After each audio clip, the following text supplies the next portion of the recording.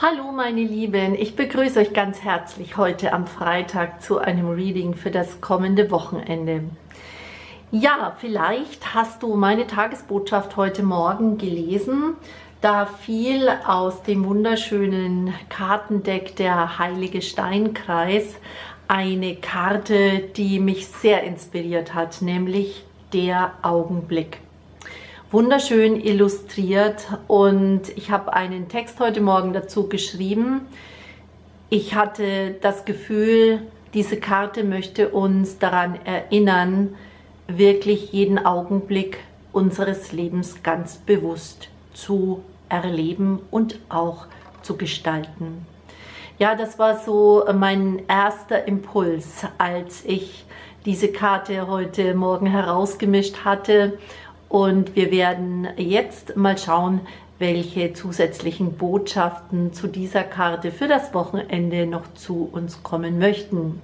Ja, vielleicht bist du heute zum ersten Mal bei mir gelandet auf meinem Kanal. Dann begrüße ich dich herzlich hier in unserer Heart and Soul Family. Mein Name ist Uli und ich ähm, ja, sorge schon seit vielen Jahren dafür, dass hier auf meinem Kanal eine wunderschöne Gemeinschaft von Menschen entsteht, die an ihrer eigenen persönlichen Weiterentwicklung interessiert sind. Ja, ich äh, unterstütze dich natürlich auch gerne persönlich, ganz individuell auf deinem Weg hin zu dir selbst. Und heute wollen wir uns mal anschauen, welche Energien am Wochenende denn zu uns kommen möchten. Der Augenblick ist ein Hinweis darauf, dass wir oftmals viel zu sehr mit unseren Gedanken in der Vergangenheit sind oder in der Zukunft. Und beides ist ähm, ja nicht immer hilfreich. Denn wenn wir zu viel grübeln, ja, gerade vielleicht über Dinge, die in der Vergangenheit passiert sind, die man auch nicht mehr ändern kann, ja, dann äh, bringt uns das in eine ziemlich ja, traurige Stimmung. Wenn du aber dir auch viele Sorgen machst um die Zukunft, ja, um Dinge, die sich vielleicht für dich nicht so entwickeln könnten, wie du es dir wünschen würdest, oder vielleicht machen dir auch gerade die weltpolitischen Umstände große Ängste, dann sorgst du dich sehr, ja, und Sorgen sowohl als auch enttäuschende Gefühle ja über die Vergangenheit senken unsere Schwingungsfrequenz. Das ist ganz wichtig, uns immer wieder vor Augen zu führen. Wir haben in jedem Augenblick, in jedem Moment unseres Tages die Möglichkeit selbst zu entscheiden, worauf wir unseren Fokus legen.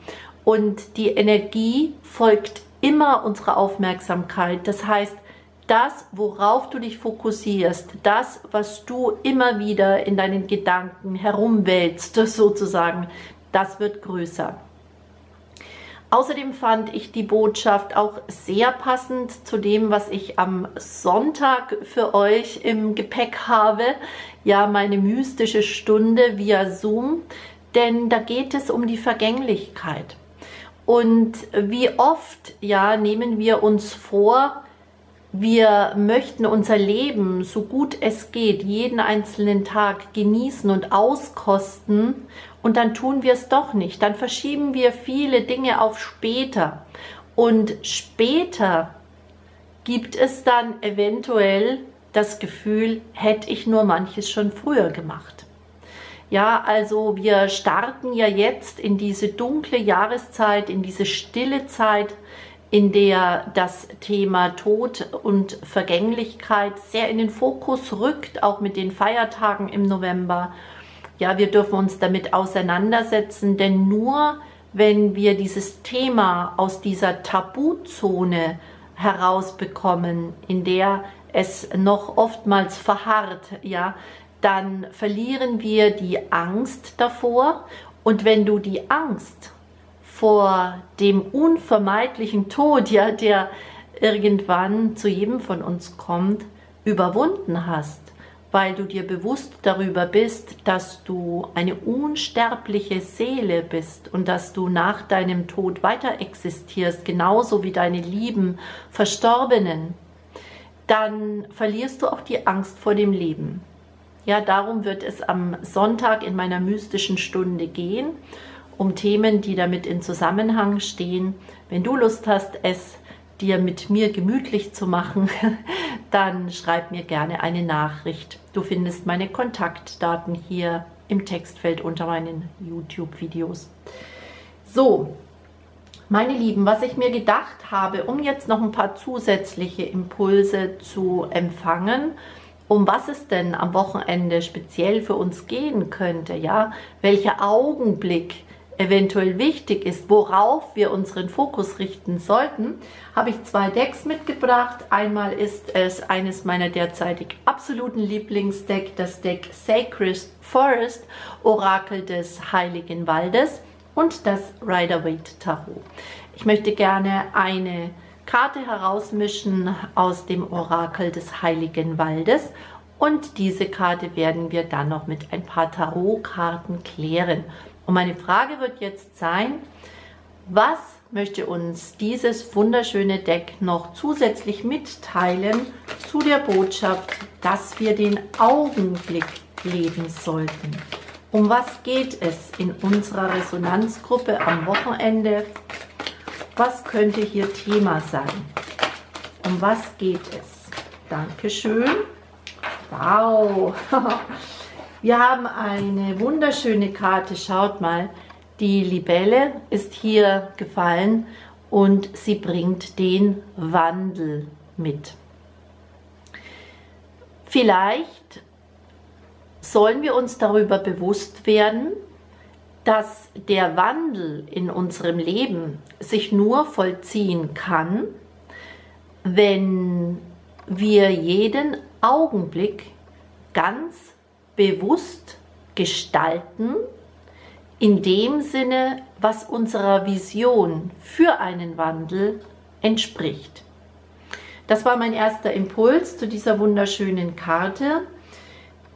Vielleicht gibt es etwas in deinem Leben, das du gerne anders hättest. Denn Wandel bedeutet immer, dass ich etwas verwandeln darf. Möglicherweise ist dir aber nicht bewusst, dass du jeden einzelnen Moment oder Augenblick des Tages die Möglichkeit hast, die Voraussetzungen dafür zu schaffen, dass sich dieser Wandel vollziehen möchte. Ja, denn es kommt ganz darauf an, ob du bereits eine Vision kreiert hast. Das ist schon mal der erste Schritt, ja. Vielleicht weißt du, es muss sich etwas verändern, aber du tappst noch vollkommen im Dunkel dann äh, kannst du zwar spüren, also das, was gerade so um mich herum passiert, das möchte ich jetzt eigentlich nicht noch wesentlich länger in meinem Leben sozusagen erfahren, ja. Aber solange du noch nicht weißt, wo es hingehen soll, wird es schwierig. Setz dich dabei aber nicht unter Druck. Ja, viele Menschen befinden sich momentan in so einer Art Zwischenzeit. Das ist eine Zeit im Leben, in der wir merken, ja, vieles von dem, was ich bislang gelebt habe, passt nicht mehr zu mir, passt vielleicht auch aufgrund deines eigenen Wandels nicht mehr zu dir, aber das Neue ist noch nicht wirklich sichtbar. Dann nutze diese Zwischenzeit, um immer wieder in dich hinein zu spüren, was erfüllt dich wirklich. Und äh, da kannst du diesen gegenwärtigen Moment, diesen Augenblick sehr gut dazu nutzen. Du kannst mehrmals am Tag innehalten, ganz gleich, was du gerade tust, ob du jetzt ähm, im Supermarkt äh, vor einem Regal stehst, ob du auf der Arbeit bist, ob du vielleicht einen Spaziergang machst oder in deinem Bett liegst, ja. Es steht dir immer frei, für einen Augenblick innezuhalten, in dich hineinzuspüren und dich selbst zu fragen, wie geht es mir gerade? Ja, wenn wir andere Menschen treffen, dann ist die Frage, na, wie geht's, doch eigentlich ziemlich selbstverständlich. Aber wie oft fragst du dich denn selbst, wie es dir geht? Wie oft schaust du, ob du dich in der Situation, in der du dich gerade befindest, wirklich wohlfühlst? Wie oft hinterfragst du, ob Dinge, die du so den ganzen Tag über tust, dich tatsächlich erfüllen? Sicher gibt es immer wieder Dinge, die wir jetzt nicht so gerne tun, ja. Also es ist natürlich schon so, dass wir bestimmte Pflichten im Alltag zu erledigen haben, die uns jetzt vielleicht nicht super viel Spaß machen. Aber wenn es um fundamentale Dinge geht, ja, wie beispielsweise dein Job, eine Partnerschaft, eine, ähm, ja, vielleicht auch die Einstellung zu dir selbst, ja, die dir nicht gut tut, dann darfst du dir darüber im Klaren sein, dass du für einen Wandel in diesem Lebensbereich in jedem Moment die richtigen Samen setzen kannst. Denn wenn du feststellst, dass du eine Lebenssituation gerne verändern möchtest, dann gibt es ja nur zwei Möglichkeiten. Entweder du hast selbst nicht die Macht dazu, etwas zu verändern. Ein Beispiel wäre, du wünschst dir das Zusammensein mit einem bestimmten Menschen. Dieser Mensch kann sich aber aus welchem Grund auch immer nicht für dich öffnen.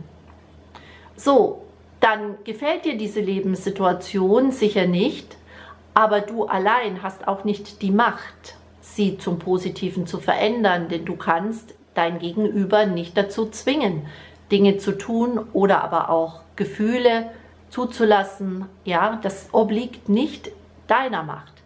Das bedeutet, in dieser Situation ist es dann entscheidend, dass du akzeptierst, was hier gerade geschieht, dass du sagst, okay, ich nehme das an, ich gehe mal aus dem Widerstand raus und allein das schafft schon einen Wandel, weil du dann nämlich aus einer relativ konfliktbehafteten Energie, die du durch diesen Widerstand in deinem Energiefeld kreierst, in eine Energie der Akzeptanz und der Annahme gelangst.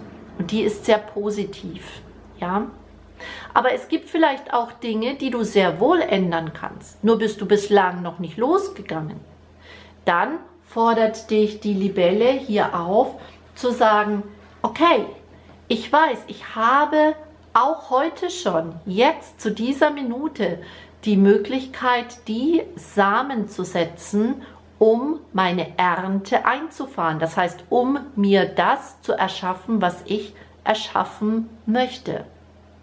Denn wir Menschen neigen leider manchmal einfach dazu, sehr bequem zu sein. Ja, also in der Komfortzone äh, kann man sich es sehr gemütlich machen. Allerdings ist in der Komfortzone auch kein Wachstum möglich.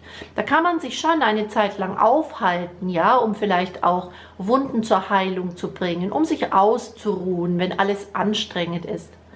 Aber letztendlich, um uns zu verwandeln, ja, dürfen wir dann auch wirklich losgehen und unserem Traum, unseren Zielen entgegengehen. Und da haben wir in jedem Augenblick die Möglichkeit, die richtigen Weichen zu stellen. Ja, wenn du beispielsweise einen Traumjob hast, wenn du sagst, wow, ich wäre total gern, keine Ahnung, vielleicht äh, Coach oder ähm, du wärst total gern äh, erfolgreich mit einem Talent, das du hast. Ja, nehmen wir an, du kannst wunderschön malen und du hättest gerne das tatsächlich als Beruf und hättest Erfolg damit.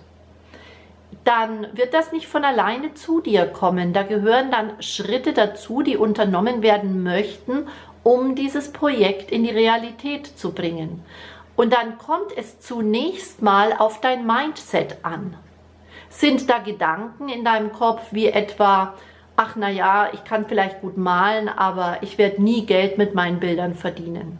Oder ja, ich kann mich gut in andere Menschen einfühlen, aber um jetzt Coach zu werden, mh, hm, da müsste ich ja erst eine Ausbildung vielleicht machen. Dann weiß ich gar nicht, wie macht man sich denn da selbstständig? Das Internet ist ja schon überlaufen von Coaches. Das ist destruktive Energie und die wird dir nicht dabei helfen, deine Ziele tatsächlich in die Realität zu bringen. Und da hast du wirklich jeden Augenblick des Tages die Möglichkeit, die Gedanken in deinen Kopf Einzug halten zu lassen, die dir dabei helfen, dich, wenn du es möchtest, zu verwandeln. Ja? Möglicherweise darfst du dir am Wochenende auch mal ein bisschen Zeit darüber äh, nehmen und nachdenken, wie hast du dich denn selbst verwandelt? Ja? Frag doch mal, wie warst du vor einem Jahr, wie warst du vor fünf Jahren, wie warst du vor zehn Jahren drauf? Was war da für dich wichtig? Wie hast du dich selbst betrachtet? Wie betrachtest du dich jetzt? Ja? Wie hat sich deine Einstellung zu dir verändert? Wie hat sich vielleicht auch die Einstellung zu deinen Mitmenschen verändert? Vielleicht zur Natur, zur Tierwelt, zu deinem Schöpfer, zur Quelle?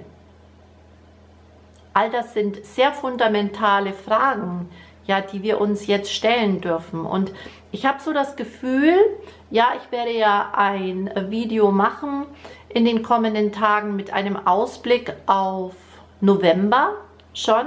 Ja, wir steuern ja mit großen Schritten auf den November zu und ich mache ja immer so einen intuitiven Monatsausblick. Und ich habe aber jetzt schon das Gefühl, dass wir im November wirklich nochmal aufgefordert werden, in die einzelnen Bereiche unseres Lebens zu schauen, um wirklich festzustellen, was gibt mir Sinn? Ja, was gibt mir Sinn?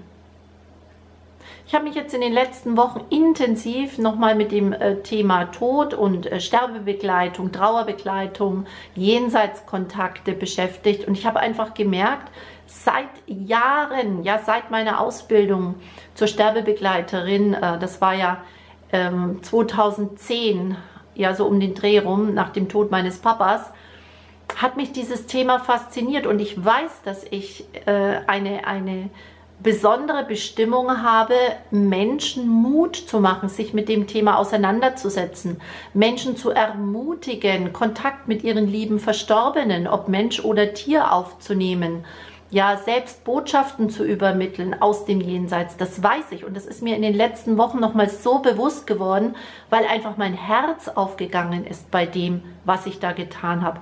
Und so kann es im November sein, dass auch du aufgefordert bist, wirklich mal hinzufühlen, was erfüllt mich, was lässt mein Herz höher schlagen, bei welchen Tätigkeiten oder bei welchen Gedanken, ja, ähm, geht mir im wahrsten Sinne des Wortes das Herz auf. Denn das ist ein wunderschöner Wegweiser dafür, was deine Seele oder du als Seele hier in deinem Leben auf Erden verwirklichen möchtest. Ja, zu dem Wandel und dem Augenblick bitte ich mal um eine Tarotkarte. Was möchte das Tarot uns jetzt für das Wochenende noch mit auf den Weg geben? Eine Karte bitte, eine erste. Jawohl.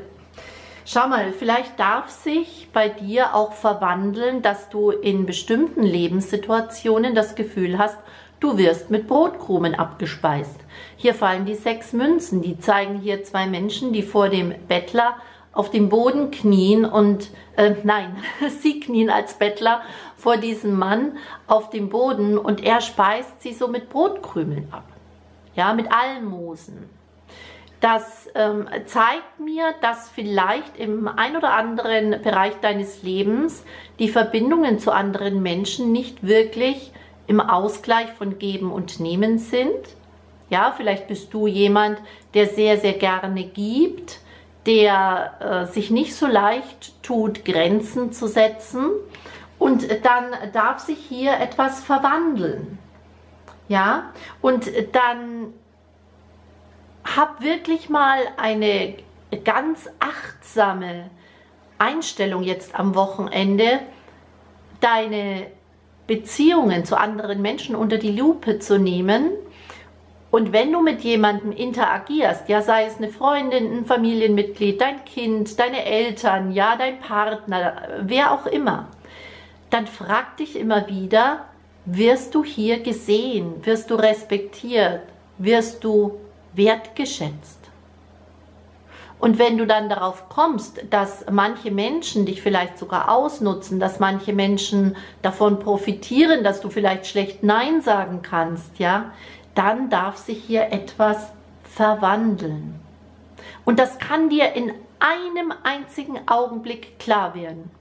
Wir sind ja immer noch in dieser zehntägigen Portaltag-Serie, meine Lieben. Und ich habe jetzt schon viel darüber gesprochen. Das ist eine Zeit, in der wir unglaublich äh, guten Zugang zu unseren Hellsinnen haben. Und da können wir auch sogenannte Blitzerleuchtungen ähm, erleben, ja, dass du vielleicht über eine Sache äh, dir schon viele Gedanken gemacht hast, dann hat es mal wieder ruhen dürfen, dann hast du mal wieder drüber nachgedacht. Und dann mit einem Mal in einem einzigen Augenblick weißt du, was zu tun ist. Oder erkennst, was sich verwandeln darf. Also das war ein sehr passender Impuls. Aber wir holen uns noch einen. Um was könnte es noch gehen? Um was könnte es denn noch gehen? Jawohl. Jetzt haben wir hier zwei. Naja gut, zwei. Dann nehmen wir zunächst mal die. Ja, na das passt ja auch jetzt wie die Faust aufs Auge. Hier fällt der Ritter der Münzen. Das ist eine Karte, die dir sagt, Ruhe stabil in deinem Selbstwert. Ja, also möglicherweise darf sich hier noch etwas verwandeln in dir. Vielleicht äh, betrachtest du dich noch nicht wirklich als Geschenk für jeden Menschen, der mit dir zusammen sein darf. Das macht sehr viel mit unserem Energiefeld, meine Lieben. Ja, nehmen wir mal an, du bist äh, auf der Suche, oder was heißt auf der Suche, du wünschst dir einen liebevollen Partner oder eine liebevolle Partnerin an die Seite und du gehst in die Welt hinaus mit der Einstellung, wow, ein toller Mann oder eine tolle Frau wäre ein Geschenk für mich.